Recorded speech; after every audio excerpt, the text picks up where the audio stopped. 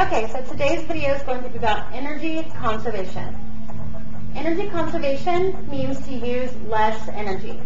So you're trying to do things around your house or you know, taking steps that you can do to use less energy. Saving energy can save your parents money. The less energy you use, the lower their electric bill is, and that makes them happy. It can also reduce pollution. So you're using less energy, then fewer fossil fuels will be burned, and less less uh, pollution will be created.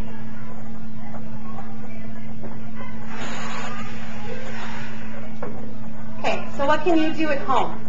In your living room, here are just some ideas. Turn off the lights. You leave the room, turn the lights off when you leave. Use low energy light bulbs. The swirly light bulbs, use those. Unplug or turn off the TV or game systems. So when you're done with the TV or like your Xbox, don't just leave them on, turn them all the way off, and even unplug them so they're not using energy while you're gone. And use ceiling fans. One of the biggest uh, most expensive uses of energy in a house is air conditioning.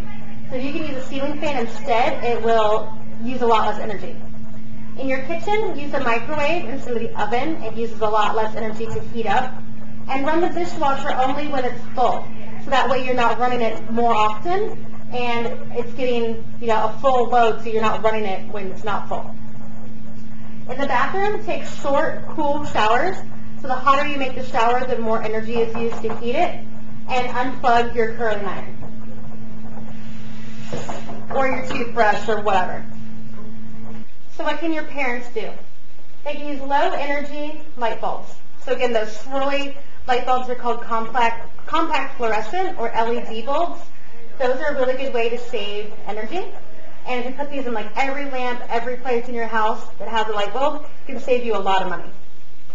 They can install more insulation in their house. Insulation is this like foam type stuff they put in the walls of your house and it keeps the temperature of your house the same. So they make windows now that have this coating on the glass and it um, keeps the sun from getting in so it doesn't heat up your house in the middle of the day and then you have to try to cool it off with an air conditioner.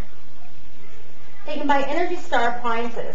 So Energy Star is a way of rating appliances. And they will give an appliance like a refrigerator or washing machine, like big appliances. They'll give them a grade, basically. And they'll say, you know, this refrigerator uses less energy than this other one, so we're going to give it a better grade. So if you look on appliances, you can always find the Energy Star rating, and it will tell you how much energy it uses. And then lastly, they can use an electric company that uses renewable energy. So especially in Dallas, there's some really great options for electric companies, and you can choose which one you want to use.